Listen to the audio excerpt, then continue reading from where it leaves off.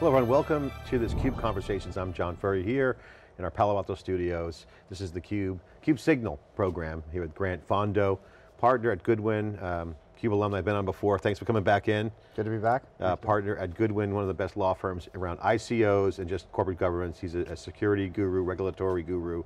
Um, we've talked in the past, there's a YouTube video up there, check it out, search for Grant Fondo. You'll find our previous interview laying out the ICO playbook. Uh, update, let's get the update to the playbook. So ICOs, kind of in a winter state now, but still ICOs going on. Signal announced massive uh, traction with their ICO.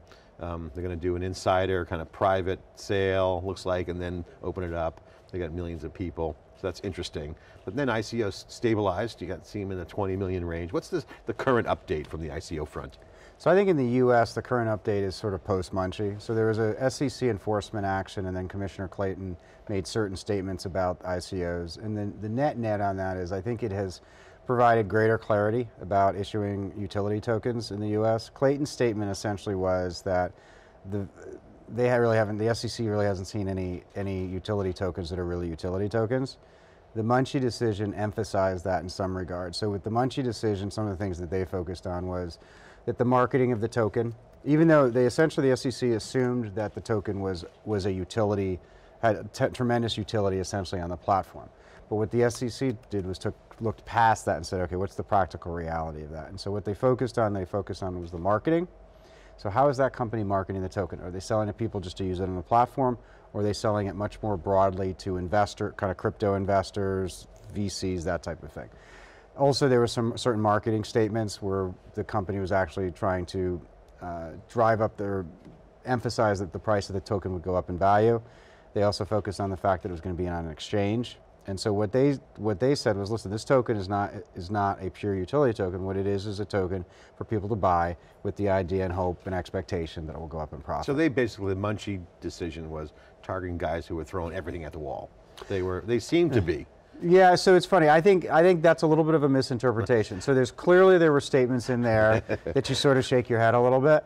Um, but I think that misses the picture of the Munchee decision if you focus on, oh well, we won't make those those sort of statements. You need to look at and focus on also what were the other underpinnings of that that enforcement action. What was the message, combined message with that, with the July 25th guidance that they mm-hmm. issued. Mm -hmm and then Clayton's statements. And I think the message is that yeah. utility tokens are going to be a tough road in the U.S. going yeah. forward. They certainly have not identified what a, a valid utility token would look like.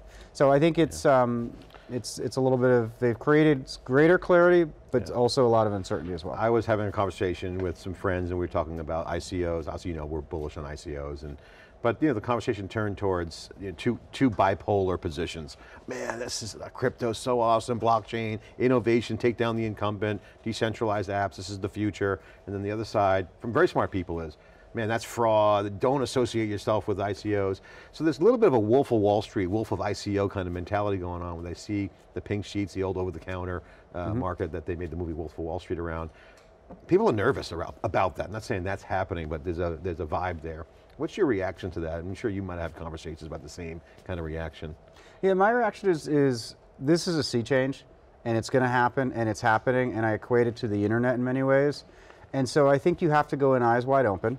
I think you have to understand the regulatory risks if you're a company doing it. You know, there's there's not a certain path to do it in the U.S. and you have to evaluate that. There's you can go offshore and there's certain paths that way. But as someone who's potentially going to purchase tokens or digital currency, and I, I, sort of separate them between like the Bitcoin and Ethereum, which is more digital currency, and then tokens, yeah. which are some of the ones we've been talking about. Close to 1,400 now out there. I would, I would assume there's even more at this point. so uh, they're really popping up every day. And I think you have to, like the internet, I think there'll be winners and losers. There'll probably end up being more losers than winners. I think the regulatory environment will get more certain. Um, and then there's going to be, and that's fine, you know, I mean, mm. you have to go eyes wide open and you may lose your money in it. And then there's the category of pure fraud. And so that, there's always, whenever there's an opportunity, the criminals come jumping in and, or people taking advantage of a situation where yeah. maybe they would not have otherwise and that's going to be a portion of it too, but I yeah. think you can get a pretty good read on some of these, whether this sounds like pretty sketchy or not, and you just have to be realistic about it. And you guys are doing a good job. The, the, the practitioner community is really working hard. I mean, I always say, my, my feeling on this, we've talked about this before, is that the internet bubble was a bubble. but everything played out. You had buy pet food online. You get mm-hmm. stuff delivered to your home. So I think the same thing's happening with ICO. I think the things that are coming out that's innovative will end up happening. The question is the compressed nature of how fast forward this bubble is. I mean, you look at the NASDAQ growth uh, during the dot-com bubble stage yep. and look at the crypto market, total market cap. It's so fast forward, it's happening faster than even the dot-com bubble.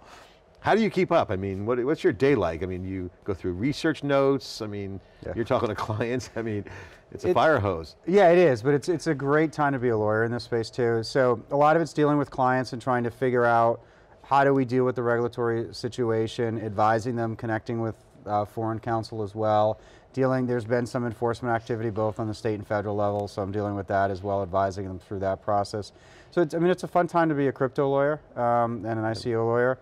Um, and I think too that you are, what, what is also part of that you're seeing here that's fun and interesting is that the, the, regardless of how you feel about ICOs, one of the great benefits of it is you have all these different companies that otherwise would have never thought about using the blockchain or hadn't focused on it, and they're suddenly using the blockchain in this, this technology. So you mentioned about how fast forward it's going, how quickly mm -hmm. things. I think these have accelerated this change and this disruption by five to 10 years. And I think mm -hmm. that's an enormous impact that is a positive impact. And so no matter what happens with the, the coins that you buy or may not buy, that's going to be a change that's going to be with us going forward. Talk about the regulatory uh, update. There's obviously concerns and, and whether you're investing in crypto or investing as, a, as an individual or fund or as an entrepreneur trying to build a business. Mm. What are the regulatory things that are, people should be aware of now that's different than before or, or that's more maybe more prominent? How would, how would you talk about the regulatory? So I think there's a couple of buckets. So one is if you're the company doing the ICO, you've got to address whether that token is a security. I think the SEC has said we've, most of them are, you know, all of them are securities. You have to deal with that reality. If you're trying to crypt, create a cryptocurrency, you have to look at are, are we going to be registered by FinCEN? And so I think you need to assess those. I think if you are part of the ecosystem helping any of these sales, eh, so let's say that you're the, doing the marketing for, the, for one of these token sales, or you're an advisor who's trying to bring in other investors or things of that nature. You have to look at what's called participant liability under the SEC, SEC rules. And so you have to be aware of what you're doing, whether does that create exposure to you or your company if that token end up, ends up being um, unlicensed security. Likewise, if you're an exchange moving these tokens or facilitating the sale of these transactions, you now have to think about, am I, should I be registered with FinCEN? Should I be registered with the SEC? So those are really kind of issues, core issues yeah. that you have to deal with. And then as an investor, I think generally investors would be viewed as the victim by these regulatory agencies, so I don't know that there's real exposure from a liability or litigation perspective, but I do think it's more, again, like doing the due diligence and, and eyes wide open and, and, understanding that if it fails, you may not may not have any recourse. so everyone wants their tokens to go up. That seems to be the trend. Um, let's parse through the concept of utility and security we did, but now I have, I have a token out there, I'm ICO, and I plan to take it ICO or I'm ICO. What's the role of exchanges in all this? Because good tokens should have you know, liquidity. People should be exchanging tokens. Some people hold the tokens or hoard them. But the role of an exchange, do I plug with an exchange? Do I do my own exchange? What's some of the law around that? Because you know, if I'm a ICO candidate, I'm like, hey, I'm going to launch my token. It's going to be a secondary token, but I'm going to run my own exchange. And of course, list my token on the big exchange so people can trade it and the price will go up. Yeah, so that, so, so that's going to, that's a natural reaction. So that sounds, that to the SEC is going to sound like a security. So one of the things you have to address is if you're going to do this in the US or bring in US money, is I think it's a real risk to put the tokens up on it. Is there hybrid models? Because I, I can see a utility vehicle saying, hey, we're a utility, like the arcade example we used before, but what good is a token if the price doesn't go up, right? So say that utility doesn't go fast enough and all this arbitrage. Can I do a hybrid utility and security? I think it's hard. I mean, it depends on, on how it's structured. I mean, one way to do, uh, potentially to do a hybrid, this has not been tested as far as with the utility token, but the SEC has, um, sanctioned is not right, the right word, but has said what's called passive bulletin boards are not securities exchanges. So that's in the context, imagine you essentially say, here's a platform for people, buyers and sellers of our token to exchange it between each other. We're not in the middle. We're not taking any transaction fees. And so there's a path to that. Now that may not be attractive to certain ICO companies, but that is a potential path where you can provide So liquidity. like a Craigslist or like a bulletin Craigslist. board, the old school, you know, bulletin board days. Yes, yeah. People still use them. They so to use the word that- bulletin board? yeah. Hacker News? Yeah, okay. Exactly. And so that that's Social network? That yeah, that's a path to do it. You can also, if you do uh, create a system where the token does not leave the exchange, uh, excuse me, leave your platform, so it's a closed loop uh, token.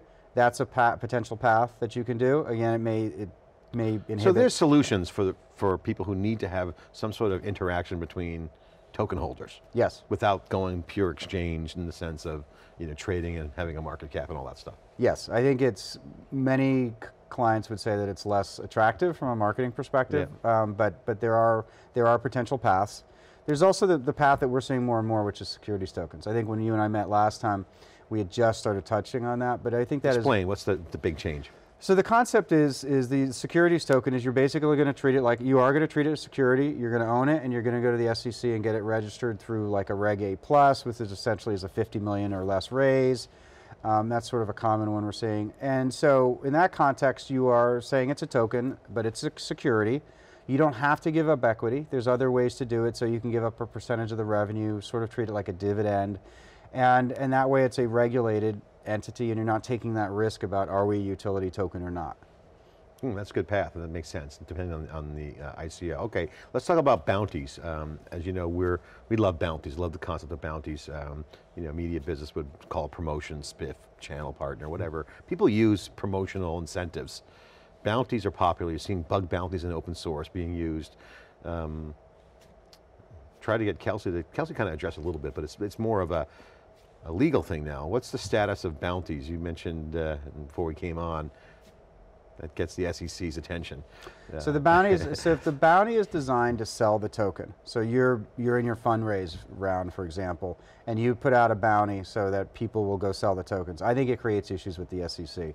Part of it is it's very hard to control that bounty. So you're going to have people who are trying to make money selling your token, and they are potentially going to make statements that are going to indicate that or make statements the SEC is not going to like. Yeah. So I, you know, it's something we or promises, so basically sell the deal. Broker dealer almost, right? Correct. So there's a couple of issues, not only from the company perspective that you've got somebody out there who's probably marketing your token in a way that the SEC is not going to like, uh, and so that creates potential exposure. But also from the, the bounty person, the person doing the bounty, there's potential exposure But are they essentially doing a, a broker, are they acting as a broker dealer or other type of seller of unregistered securities as a participant, for example. And so I, I, it's not something we generally recommend to our clients. That said, if you are going like more of a true utility tout, there's nothing wrong with like a reseller agreement. So you could structure something. I mean, most of these bounties tends to be like, hey, if you bring us X amount of token sales, we'll just give you something. There's no real strong contractual arrangement. But if you are a company that has traditional resellers, and you're and the purpose of this of the sale of these tokens is for that customer to use it on your platform, I think you can structure things so you have reseller agreements. So it's really case dependent. If you're Very using bounties as arbitrage to sell the deal versus actually part of your business model, that's, that's kind of where you look at it. Kind That, of, yeah, I mean, yes, I think I think that's a distinction, that, and I think that's a distinction. No guarantees, but I think the SEC would understand. I mean, it's all part of it. They're looking at the picture. Are, are you trying to just make this token go up in value, or is this token really supposed to be used on your platform? all right, so uh, question for you. Since we last talked, I think it might have been two months ago, maybe it's been 60 days or so, I can't remember the actual, when we came in last, it seemed like uh, yesterday. What's, what's changed? What have you learned? What's new? Uh, what surprised you? Um, what's interesting that's happened over the past few months? So I, I don't think any of the regulatory action has surprised me. I think we we sort of knew that was probably coming. I think what surprised me though is that every time there's been guidance issued by or an enforcement action issued by the SEC, we now also have state actors. Massachusetts be, has become pretty active. Uh, Texas has also been active. You would think that it would dampen or slow down the market, and it really hasn't. So I've been surprised that it almost has led to more phone calls, not just about, oh, are we in trouble, but more in the context of, okay, we really recognize we need lawyers, we need to, to try and do this right. Yeah. Um, but the enthusiasm is still really there. I mean, it's So it's validation in the fact that they're issuing guidance, in my opinion, but I think it brings the question of, man, I need, I need help on this thing. People are, Yep. that got to call in the pros. All right, the other thing that's interesting about these guidance, I'd like to get your reaction to is, has it really set the rules of the road yet? I mean, what I'm trying to look for is, what are the rules of the road? I mean, how to, I drive on the right side of the road here in the US, I stop at the stop sign, I can get through things with the rules. What's changing, what's stable? Obviously securities tokens is solid, right? That's a, a good rule. Yeah. What rules of the road are developing? So I think, I, using your analogy, I would say that what the SEC has said, if you go over 20 miles an hour, probably more like 10 miles an hour, you're speeding, and that's the securities. but we're not going to tell you if, if the floor is 10 miles an hour. So it may be that if you go two, three, five miles an hour, we're also going to give you a ticket. And that's sort of the environment we're in. So there's, we know where there's the danger zone, where you've crossed that line. What we don't know is where is the safety zone. And so that, um, that I think in some ways is where that guidance has, has come. I think where that is pushing people though is, is more offshore. And I think that's always a risk. When I, you know, I was, I was involved in digital currency several years ago with certain regulators. And there was, and that's when I think the government was more interested in stamping it out. And there was a, there was a huge offshore movement. You're seeing that with token sales now too, that companies that want to be in the US, mm-hmm. um, are moving offshore. So hopefully we're, my goal and hope is that the, the, the, regulators avoid that problem. I do think eh, that it's, the regulators still are not looking to crush this industry, they're trying to regulate it. And I do think that's a big change. I'm not saying that there aren't going to be people hurt. It's better. It's better. Not great. Not great. They're great. not moving fast enough basically is the issue, right? Or Yeah, I also think that companies, um, even the, the comp, for a company that's going through that process, it's sort of still extraordinarily painful. so um, I'm not saying in any way that the regulators are having a light touch, but yeah. I do think there's also a recognition here that yeah. we don't want to destroy this industry. And yeah. I think Congress the same And way. you're doing a great job. You guys are pioneering a whole new class of law, documents, agreements are all being kind of recasted and reimagined with crypto. Daily. It's it's daily. Well, well, I got I got to ask you the final question. Um, you know, as things progress, things are happening. You got a lot more deals under your belt now. You guys are doing great over there at Goodwin. You're in the top uh, set of law firms doing crypto deals. So I got to ask you, what are you advising clients now? I mean, obviously you're trying to, you know, zig and zag at the right time based on guidance, make sure everyone's covered and the risk uh, reduction, but at the same time you guys have also been, I won't say super aggressive, but you've balanced aggressiveness of opportunity recognition and capture with risk management. What's your current advice now? I think if generally it is really take a hard look at the securities token. If it, I think that that I mean it's not the the perfect path for everybody. There's cost, expense, etc. But I think if you really want to do a, a token in the U.S., you want to be safe. I think you've really got to look hard at the going down the securities token route. The other one is to go purely offshore and do pick a venue that is re relatively crypto friendly and do everything offshore, which means no U.S. money, um, not even at the SAFT stage early on, and also have the token go on an, if you're going to put it on an exchange, don't put it on an exchange that has US um, people buying and selling tokens. That is sort of the, the sort of the two paradigms that we're seeing. I think anything in, the, anything in the middle, then we're advising, all right, let's, let's talk about pure utility token here, where I mentioned it before, where the token stays, doesn't go outside the platform, or where you put a set a fixed price on the token or where if you do create some type of token, you do a passive bulletin board. Um, those are models to still to be explored. I don't think many companies are doing them, but those are those are sort of the pass. I think that the utility token that we've been seeing over the last six months is a, now is a pretty difficult path to go. And the offshore thing, Kelsey uh, Leominster, who was on tax partner at your firm, was just uh, talking with me about, you know, might not be the best thing with the tax reform in the U.S. Yeah.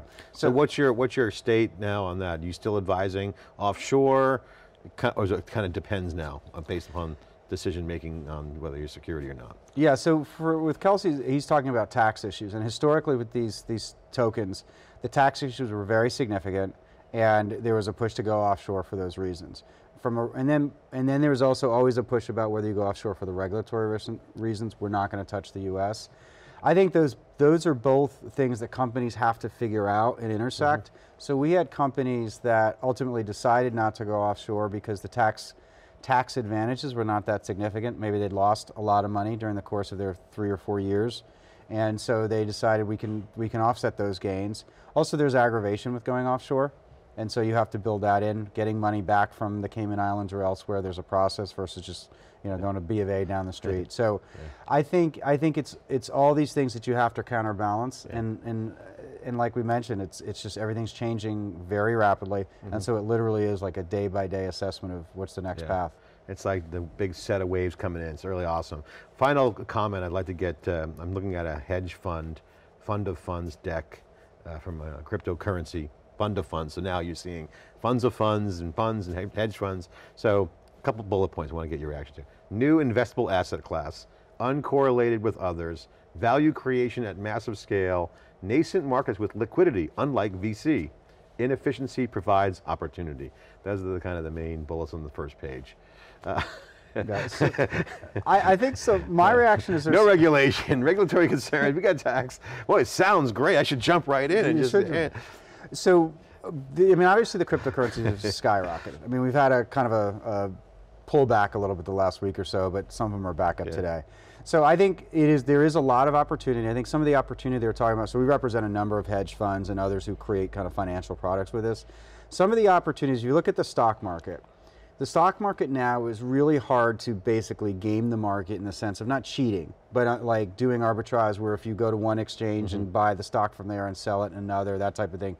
Really hard to make money. There's a lot of sophisticated players, a lot of technology.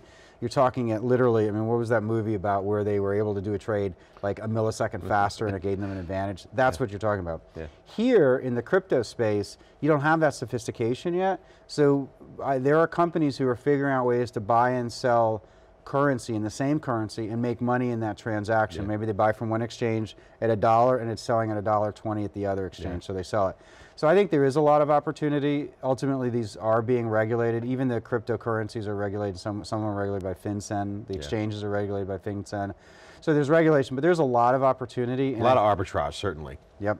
Big So- time. Yep. So it's a, it's a really fascinating market, very sophisticated market. Again, eyes wide open if you go in and invest And, it. and this is really talks about the makeup of the personality of the people involved. If you can, can handle the wave, you should get out there. Hence the reaction to some people look at it as a little bit nervous. They're the risk averse folks. Yeah. You got to be, you have to have a stomach for this, you know. You do. You also have to be smart. Like Yeah. you shouldn't put all your money in it. You shouldn't pull out your 401k Yeah. money to start investing in any asset class. You have to invest enough that you can lose. If you lose it, it's not going to be life changing. Well, a lot of smart people that I know, and I know a lot of people who are really into this and see great opportunities. Certainly, there's the, the bad actors in there, but I love this uh, opportunity. I think it's a once in a generation movement. I think it's a, the biggest wave that's hit since since many generations. So uh, really awesome. Congratulations on the work um, you're doing. Any new update on Goodwin Goodwin front? Uh, Yeah, no, it's, it's just been a fascinating time for us, and um, it has. We've got a ton of people doing a, lot of interesting stuff, and literally every day we hear a new project where you're like, wow, that's a really interesting application of this technology, or a different use case. And our clients are coming to us. I mean, that's that's the beauty of Silicon Valley and that model is we learn things from our clients when we meet with them. So we love having those meetings, and um, I think you're just going to see tremendous change, oh, even e- real, literally week to week. How's your VC client base? They're probably um, engaged heavily at this point. I'm hearing a lot of folks on the VC side, you know, not like feeling like they're being left out, but they're seeing this as a new way. I, would mean, say- certainly they've been called out here in the hedge fund, unlike VC.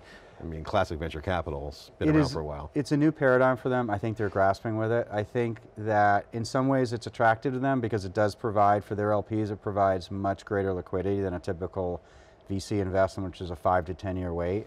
But, but they're also, uh, people are saying that they're being replaced and they're having issues where, where um, companies no longer want to go to VC. They're saying, why, Yeah. why should I give up equity and control when I can get the money for you know through different means. So I think it's it is disrupting their world. I think they're slowly not slowly they move pretty quickly. They're adapting to it. I think that there's tremendous value to having VCs involved in the ecosystem. I mean, they should do it. I mean, they should take a little bit of, of, the, of their fund because, I mean, just the opportunity to, to get appreciation. And again, liquidity in an unregulated market is an opportunity. it is an opportunity. And they're they're they're in it. They're exploring it and stuff. But it's Grant Fondo, partner at Goodwin. Check out Goodwin, great firm on the ICO front. They're in the top uh, in Silicon Valley and around the world. They got great tax uh, law. Grant, good friend of theCUBE. Thanks for coming on again. Appreciate uh, your commentary and update on the ICO playbook. I'm John Furrier. This is CUBE Conversation. Thanks for watching.